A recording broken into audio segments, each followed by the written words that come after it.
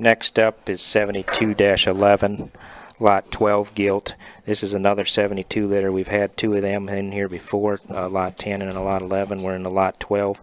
She's got that spot uh, on her on her back that I think really puts her out there. Uh, you, you won't miss this gilt. She's an unashamed, best kept secret, out of sight.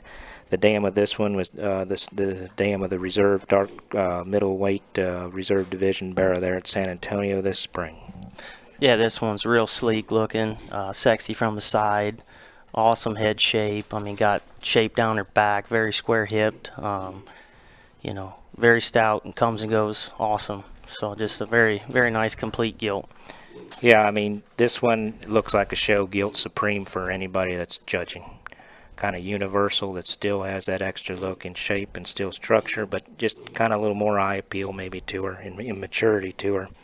We sold a gilt here last spring, and it was, I think it was the September or October sale that uh, we sold for $900 and went on to the Oklahoma Youth Expo and was named reserve champion overall and sold for 50000 I think this set of gilts, we've got seven of them in here.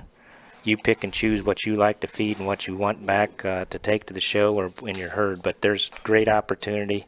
We focused on quality in this sale as much as we could. I think our feet and legs are there. You determine how much muscle shape you want. You determine how, how stout you want them. But uh, boy, this one's very universal in, in my book. Yep. 72-11, lot 12 gilt, unashamed, best kept secret, out of sight.